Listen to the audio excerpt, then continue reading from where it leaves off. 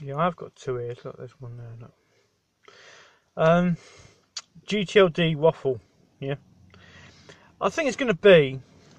GTLDs didn't really start until about 2014. The new GTLDs, about January 2020 2014. So even now, they've only been about for five years.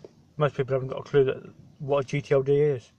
It's going to be at least another five, ten years before GTLDs, you can put a GTLD on the back of a van, and uh, people realise that if you, without without the W's at the front, let's just say like um I don't know, any website address .com, you don't have to have the W's on it, but because GTLDs are so unusual, I suppose you want to call it, um, people won't recognise GTLDs.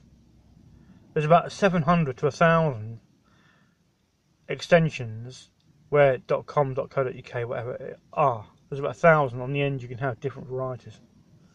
So,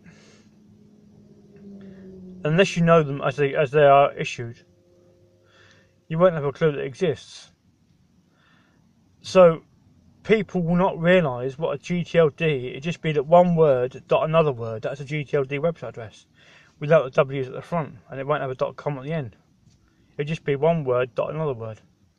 So if you if you want to recognise a GTLD on in everyday life, on a piece of on, on a document or whatever, or on a on the back of a van or whatever, or online, it is just a GTLD is one word dot or a full stop, another word, one word dot another word. That's a website address. Doesn't need W's at the front or dot com on the end. Just one word dot another word. That's GTLD just so you can familiarise yourself with GTLDs when you see them in the wild.